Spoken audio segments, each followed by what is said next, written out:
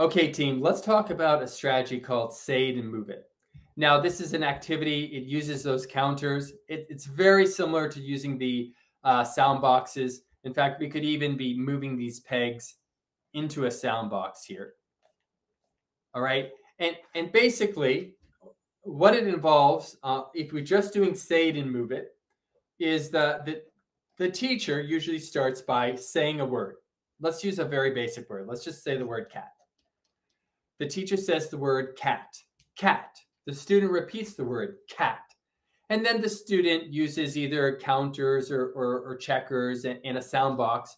And they essentially, they move the pegs into the box. K, a, t. And then at the very end, they blend them together. Cat. So I'll repeat it. For say and move it. The teacher says the word cat. The student repeats the word cat. Then the student segments the sound while moving their finger and moving the the uh, the the circles into the boxes. K, a, t. And then they blend it. Cat.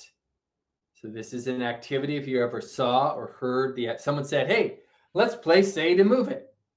Well, they're they're not saying what they're saying is let's do some phoneme segmentation, right? So if you hear say to move it, you know it's a phoneme segmentation question using you know sound boxes and Elkonin boxes to segment the sounds in words spoken orally, or or words that where you're given a picture and then you have to use the picture as the starting point to segment the sounds. Okay, now, um, there's lots of videos that you could. This is a real thing. I didn't just make it up. And if you if you're like, what is say and move it? I've never heard of it before. I would encourage you to go to YouTube and just type in say to move it and look for this picture here, this video here, where you have a puppet and a teacher. You just type into YouTube, say it, move it, return, and you'll see this uh, two minute long video and the, and the puppet actually talks. Puppet's like you know so it's a little weird but hey it's cool. I love it. In fact uh, i think they did a great job with it so so take a look at this video if you want to learn about say to move it. And here's why you would do that.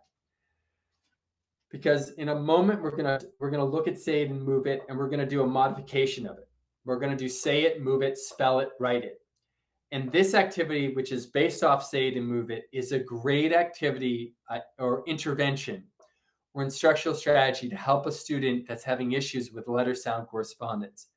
And this is going to be like an activity. If you ever saw a student and they had a weakness in phonics, if phonics was their weakness and you're writing your essays, right? You're writing your essays and you notice the student is having difficulty with phonics, with letter sound correspondence, say it, move it, spell it, write it it's a great activity to practice letter sound correspondence. Okay.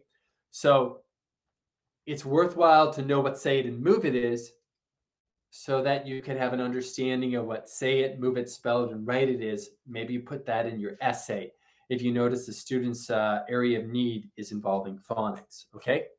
That's a little bit later on, but trust me, that might help you on your essays. This is a, this is a potentially a great intervention uh, say it, move it, spell it, write it for for these reading uh, these reading uh, essays on all the exams.